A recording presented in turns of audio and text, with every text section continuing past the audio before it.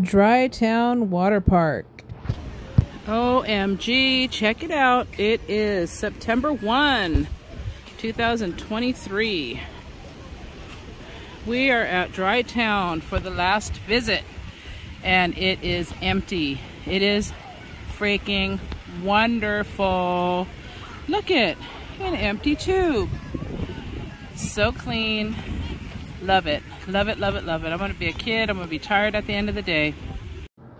We got to walk on the rides or the slides all day. It was a perfect ending to the season.